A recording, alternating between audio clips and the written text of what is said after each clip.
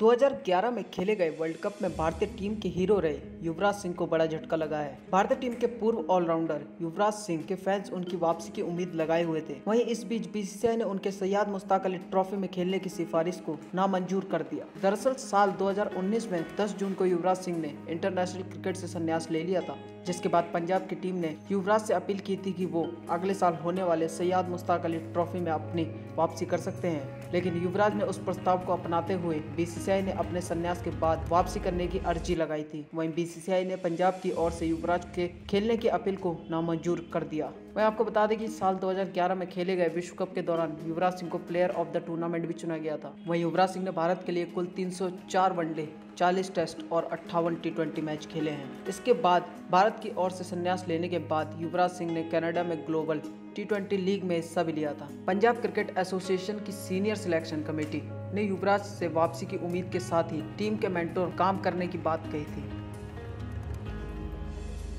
L news room की report.